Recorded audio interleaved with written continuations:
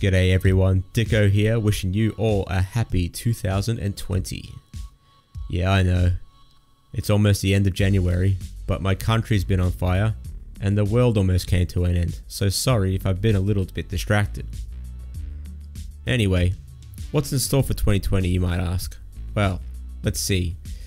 Hmm. How about I make a real, honest to God attempt at making a short film by the end of the year?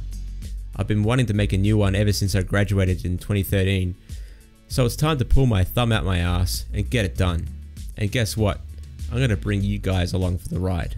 Now you see, I never really intended this channel to have just one-off tutorials for specific things like modeling, texturing, rigging or animation. There's already enough of those. But therein lies the problem, they're so specific. Never do they really relate to one another. For example, Someone might teach you how to rig a character, but they won't teach you how to fucking animate it. What a waste of time. Or they have workflows that sometimes don't even work in a production setting. Or they simply just keep repeating the same content over and over. Nah, nah, nah. I wanted to create this channel so I could empower you and others to make your own films, animation or stories. To give you the opportunity to share your own creativity with the world, whether it's a stupid little joke animation or a full blown story you should have the opportunity to make them by using the most readily accessible tools currently available.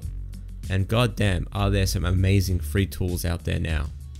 I mean, what's the point in learning how to model a monster if you never get the opportunity to see it rip some asshole's head off?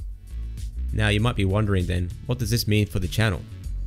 Well it means I'll be showing you more than just Blender stuff, although that will remain as our main driver for a lot of it.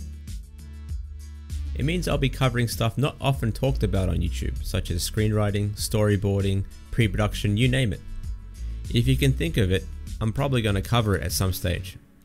I mean, I'll have to if I'm going to get this bloody film done. And besides, it's going to be a lot more fun. I mean, we're going to have something to work towards. We're going to make a film. We're going to make something that can be enjoyed by others and something that can be fulfilling to make. I mean, imagine that feeling when you finish it and you show it to someone and they tell you it's shit. I mean, they love it. Well, it could be complete shit, but I have a script and a title, and I've had exactly two people read it, and they seem to like it, so fuck it, let's get started. Uh, before I go, I guess you'll want to know what the name of my film will be called.